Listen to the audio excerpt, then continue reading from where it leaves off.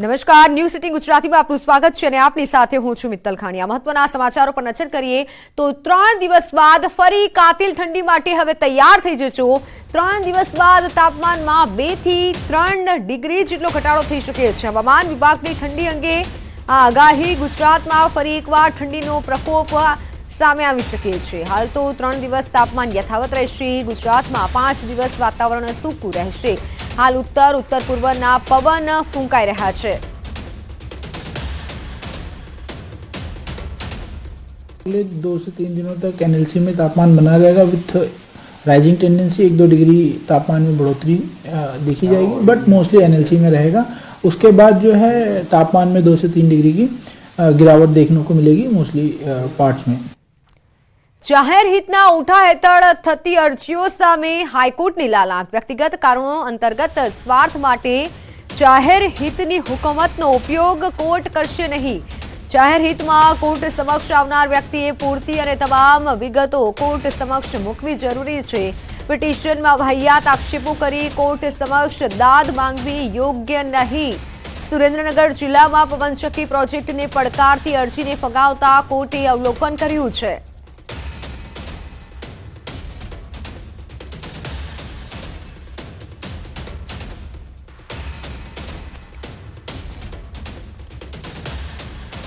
રામ મંદિર વિવાદ મુદ્દે પાટણના એમએલએ કિરીટ પટેલનું નિવેદન સામે આવ્યું છે. તેમનું કહેવું છે કે કોંગ્રેસને કોઈ વ્યક્તિગત કારણ આમંત્રણનો અસ્વીકાર કર્યો હોવો જોઈએ. હું કોઈ વિવાદમાં પડવા નથી માંગતો. રામ ભાજપ કે કોંગ્રેસના નથી, પરંતુ સર્વ સમાજના છે. આમંત્રણનો સ્વીકાર કે અસ્વીકાર એ બાબતમાં હું પડતો નથી. કદાચ કોઈ નેતાના પર્સનલ ઇસ્યુના લીધે એમને અસ્વીકાર કર્યો હોય. પરંતુ કોઈ એમ કહેતું હોય કે રામ કોંગ્રેસના કે રામ ભાજપના છે. રામ એ સર્વ સમાજ માટે એક આદર્શ છે. અને જ્યારે આવો એક મંદિરની પ્રતિષ્ઠા રામ મંદિરની થતા હોય ત્યારે તમામ ધર્મના લોકોએ નાત જાત ભૂલી, પક્ષ ભૂલી અને એની અંદર સાથ સહયોગ આપવો જોઈએ. અયોધ્યામાં ભગવાન શ્રી રામના મંદિરના પ્રાણ પ્રતિષ્ઠા મહોત્સવને લઈને દેશભરમાં દિવાળી જેવો માહોલ છે. ત્યારે ભાગવત આચાર્ય રમેશભાઈ ઓઝાએ અયોધ્યામાં ભગવાનને શ્રી રામ મંદિરે લઈને વિશેષ વાત કરી.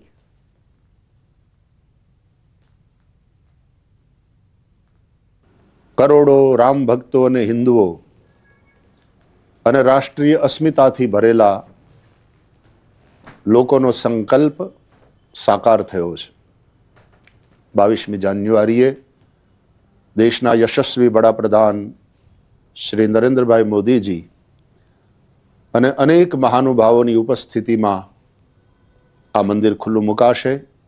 આ સમયે અયોધ્યામાં જઈ અને આપણે વધારે ભીડ ન કરતા ત્યાં ઉત્સવ, પ્રાણ પ્રતિષ્ઠા વિધિ ખૂબ વિધિપૂર્વક અને યોગ્ય વાતાવરણમાં સંપન્ન થાય અને આપણે સૌ આપણા પોતાના ગામમાંથી અને આપણા પોતાના ઘરેથી આ ઘટનાના સાક્ષી બનીએ અને પછી રામલલા જ્યારે અનુકૂળતા આપે, ત્યારે અયોધ્યામાં જઈ આપણે સૌ દર્શન કરીશું.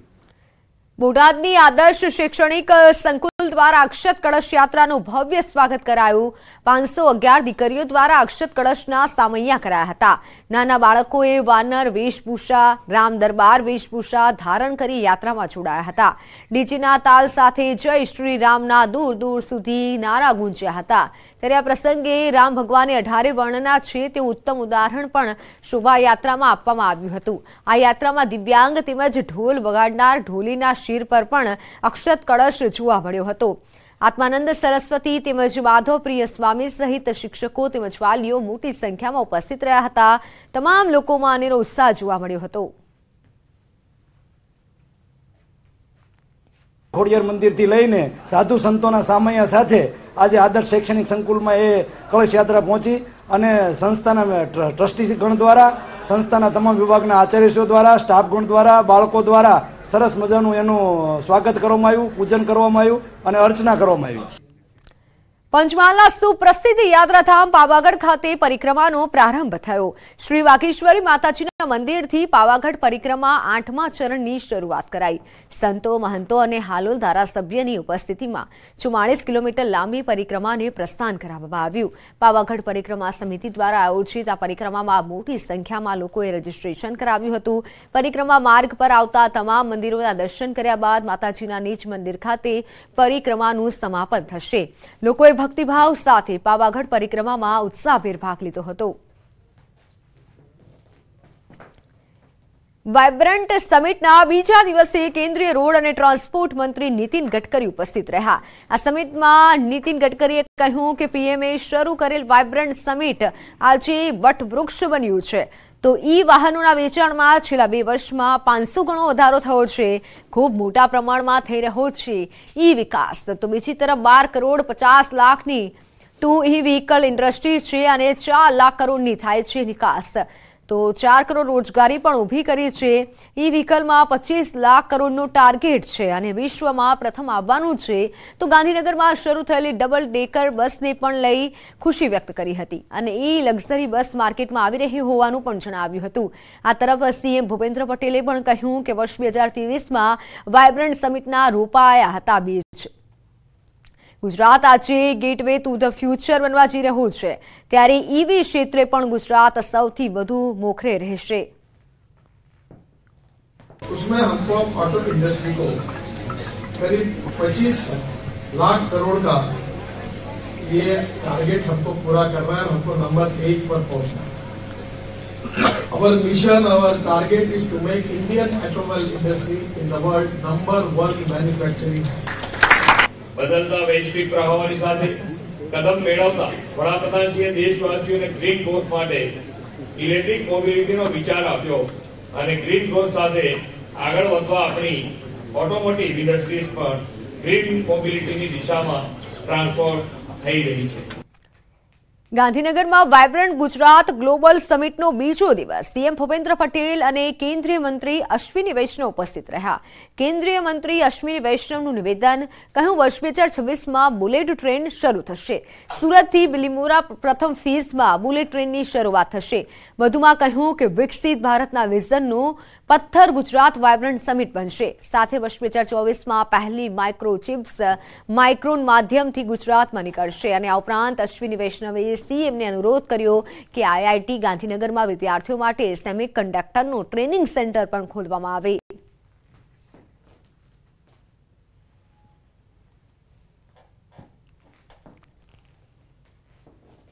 made in India memory chip Gujarat में माइक्रॉन के प्लांट से निकलेगी आपको बहुत बहुत धन्यवाद special thanks to you and your entire team ગાંધીનગરમાં આયોજિત વાયબ્રન્ટ ગુજરાત ગ્લોબલ સમિટ દરમિયાન યુએઈના royal family officer Sheikh Ahmed bin Faisal Al કાસમી તરફથી મોટી જાહેરાત કરવામાં આવી. આ સમિટમાં ઉપસ્થિત ફેમિલી ઓફિસના ચીફ ઇન્વેસ્ટર ઓફિસર પ્રણવ જ્યોતિએ એક પોઈન્ટ પાંચ બિલિયન ડોલરનું રોકાણ કરવાની જાહેરાત કરી. ગુજરાત સહિત ભારતમાં ઇન્ફ્રાસ્ટ્રક્ચર, રિયલ એસ્ટેટ અને હેલ્થકેર સેક્ટરમાં ફેમિલી ઓફિસ મોટા પાયે રોકાણ કરશે.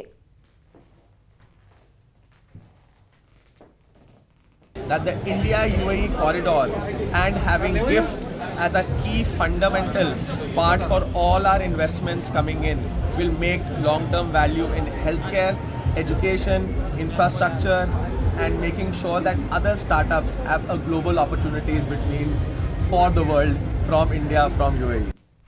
મોટા સમાચાર સામે આવી રહ્યા છે. દિલ્હી એનસીઆરમાં ભૂકંપના મોટા સમાચાર જે સામે આવ્યા છે. ભૂકંપનો આંચકો અનુભવાયો છે. જમ્મુ કાશ્મીરમાં ભૂકંપના આંચકા નોંધાયા છે. કાશ્મીરથી લઈ સમગ્ર ઉત્તર ગુજરાતમાં ભૂકંપ, પાકિસ્તાનમાં પણ ભૂકંપના આંચકા નોંધાયા છે. તો અફઘાનિસ્તાનના ફૈઝાબાદમાં ભૂકંપનું કેન્દ્રબિંદુ નોંધાયું છે.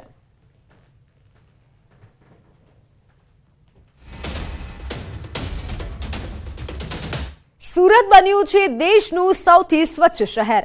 દેશભરમાં વધ્યું સુરતનું ગૌરવ. સ્વચ્છતા સર્વેક્ષણમાં સુરતને પ્રથમ ક્રમાંક મળ્યો છે. સુરતને પ્રથમ ક્રમાંક મળતાની સાથે ખુશીનો માહોલ છવાયો છે. પાલિકા સ્વચ્છતા કર્મીઓને બિરદાવ્યા પાલિકા કમિશનર અને મેયરે એવોર્ડ મેળવ્યો. સ્વચ્છતા કર્મીઓની મહેનત અંગે હવે રંગ લાવી છે. તો ગૃહ રાજ્યમંત્રી હર્ષ સંઘવીએ પણ ખુશી વ્યક્ત કરી છે. સીઆર પાટીલે પણ ખુશી વ્યક્ત કરતા કહ્યું છે કે વર્ષો પહેલા સ્વચ્છતાના કારણે સુરત બદનામ હતું અને જેનું દુઃખ પણ હતું. જોકે આ વખતે પ્રધાનમંત્રી નરેન્દ્ર મોદીએ ડાયમંડ બુર્સના લોકાર્પણ વખતે એક અઠવાડિયા સુધી સુરતમાં સફાઈ થવી જોઈએ તેવી અપીલ કરી હતી અને જેનું આજે પરિણામ મળ્યું અને સુરત પ્રથમ વખત પહેલા નંબરે આવ્યું છે. આ નંબર કાયમ રહે તે માટે સૌ કોઈએ સહિયારો પ્રયાસ કરવો જોઈએ અને તે માટે પાટીલે સ્વચ્છતાની અપીલ કરી છે.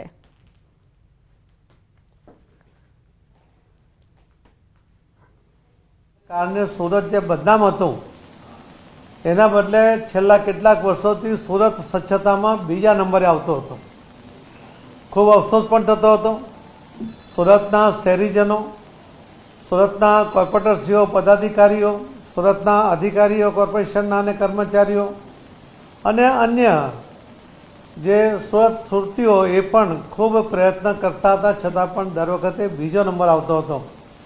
આ વખતે પણ આદરણીય પ્રધાનમંત્રી શ્રી નરેન્દ્ર મોદી સાહેબ જ્યારે ગુજરાતમાં સુરતમાં ડાયમંડ બુશના લોકાર્પણ માટે આવવાના હતા, એના પહેલાં એમની સૂચના હતી કે એક અઠવાડિયું સુરતમાં સફાઈ થવી જોઈએ અને એક માઇક્રો સફાઈની આખી ઝુંબેશ કોર્પોરેશનના પદાધિકારીઓ, કોર્પોરેશનના અધિકારીઓ, કર્મચારીઓ સાથે સો સુરતના શહેરીજનોએ ગલી ગલીમાં જે ઝુંબેશ આદરી એનું પરિણામ આજે આપણને મળ્યું છે.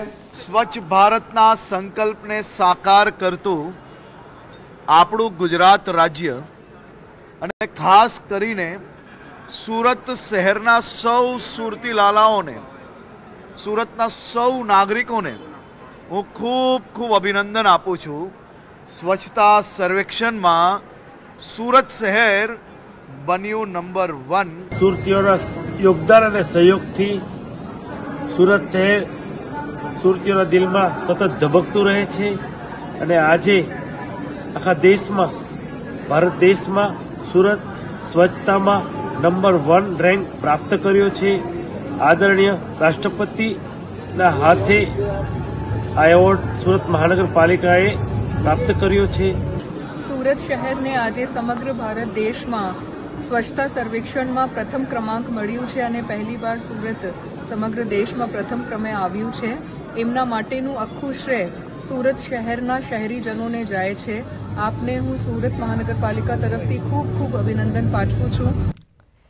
ઉત્તરાયણ પર્વ નજીક આવતા જ પતંગ રસિયાઓમાં ઉત્સાહનો માહોલ જોવા મળે છે, પરંતુ પતંગ રસિકોની મજા ક્યારેક કેટલાક લોકો માટે મોતની સજા પણ બની જાય છે.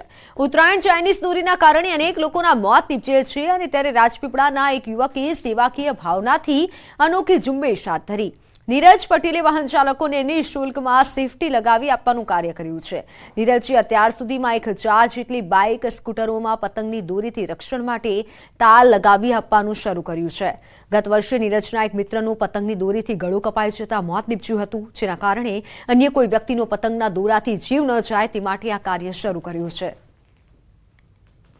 હાલ મકર સંક્રાંતિ આવી રહી છે ને આ મકર સંક્રાંતિમાં ખાસ કરીને વાત કરીએ તો જે દોરીઓથી ગળા કપાય અને મૃત્યુ થવાના અનેક કિસ્સો બન્યા છે. ત્યારે ખાસ વાત કરીએ તો જે રાજપીપળા શહેરમાં આ એક મિત્ર છે આ મિત્રના પોતાના મિત્રને જ ગળું કપાયા બાદ જેનું મૃત્યુ થયું, ત્યારે આ મિત્ર એક પ્રેરણા લીધી છે કે કોઈપણ વ્યક્તિનું ગળું કપાયાથી મોતના નિપજે માટે જેઓ આજે સેફટી ગાર્ડ જે છે, સેફટી ગાર્ડ મુક્ત મફતમાં ફ્રીમાં નાખી આપે છે. એમની સાથે વાત કરીએ કઈ રીતે આપણે પ્રેરણા મળીને શું થયું હતું ઘટના તો જેથી આ કામ કાર્ય આપણે કરી રહ્યા છીએ? ગત વર્ષે મારા એક મિત્રની મૃત્યુ થઈ હતી ગળું કપાવાના લીધે. તો ત્યાંથી મને એવી પ્રેરણા મળી કે હવે આપણે આ કરવું જોઈએ. અને આપણે નિઃશુલ્ક કરીએ છીએ કોઈ પણ ચાર્જ વગર કે ભાઈ આપણે જઈએ છીએ કોઈ વાર બાઇક પર અચાનક જો આવું કંઈક થઈ જાય અને એનાથી જો જીવ જાય છે તો કરવાના ઘણું ભોગવવું પડે છે ને આખે જોયું છે વસ્તુ. તેના માટે આપણે વસ્તુ કરી રહ્યા છીએ. અત્યાર સુધીમાં કેટલા ગાર્ડ આપણે લગાવ્યા છે અને આ કેટલા વખતથી આપણે કામ કરી રહ્યા છીએ? ગત વર્ષ પણ આપણે કામ કરેલું. ગયા વર્ષે અમે લગભગ બારસો જેટલા લગાડેલા હતા હજારથી બારસો જેટલા. આ વર્ષે પણ અત્યાર સુધી પાંચસો જેટલા લાગી ગયા છે ઓલરેડી અને હજુ અમારો ચારસોથી પાંચસો લગાવવાની ગણતરી છે. નર્મદા જિલ્લા રાજકોટ શહેરમાં લગભગ હજારથી પંદરસો જેટલા સેફટી ગાર્ડ લગાવવાથી લોકોના અનેકના જીવ બચશે કારણ કે પોતાના મિત્રનો જીવ ગયા બાદ આ ભાઈને પ્રેરણા મળી અને લોકોના જીવ બચાવી રહ્યા છે. ખરેખર સરાહનીય બાબત છે. Deepak Patel news eighteen Gujarati Narmada. તો સમાચારોમાં હાલ સમય થયો છે વિરામનો.